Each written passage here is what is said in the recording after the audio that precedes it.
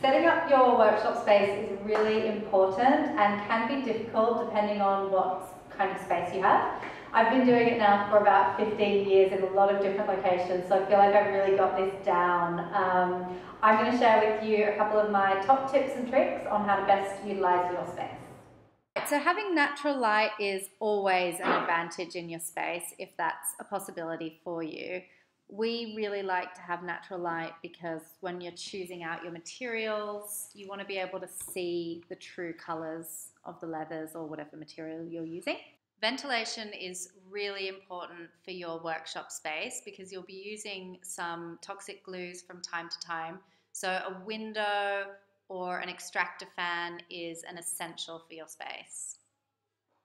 Having a nice big table is another luxury for some, but really makes such a big difference. You'll need to be rolling out your leathers, drawing your patterns, and honestly, the bigger the table, the better. You'll end up spreading yourself out as much space as you have, basically. So, a nice big table, preferably that's flat, is going to be um, good for you. When you've got a tabletop that has ridges in it, it can be a bit difficult with tracing patterns and things like that.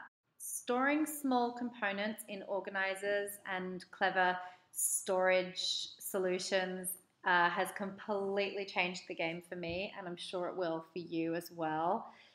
Just being able to access something really quickly means that it makes the whole shoemaking process just faster and easier. Even um, having a designated space for your sewing machines can just make the whole process faster rather than having to unpack and repack everything up all the time. Storing your lasts can be tricky, and this is going to depend completely on how much space you have. I keep mine on a shelf so that I can see them all in front of me.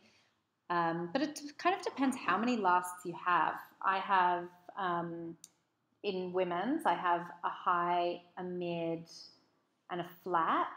And then I have those in a full range of sizes. And then I'll have a few odd pairs that may be a pointy toe or square toe or sneaker lasts. So I like to try and keep them all neatly in rows on shelves. But at home, if you don't really have space for that, you might just want to find a way that you can keep the pairs together and label them easily so that when you go to find the last you want, you can access it quickly. My number one tip is keep your space tidy. It's so, so difficult to do a good job when there is mess all around you. If you ever find yourself stressing out or making mistakes, just stop what you're doing and tidy your space.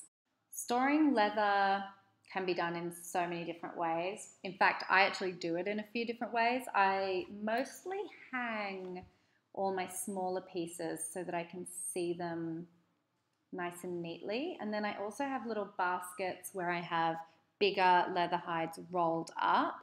And then I also have more little baskets for all of the offcuts because you end up with a lot of pieces which are too small to make a whole pair of shoes out of, but big enough to use for embellishments or covering insoles or heels. So you really need to make sure that you're storing all these pieces and getting the most out of your materials. Making a space inspiring and comfortable is obviously a luxury for some. For some of you, you are going to be using your kitchen table and that's going to become your workshop space which is great. Hopefully, that should already be a nice, inspiring space for you.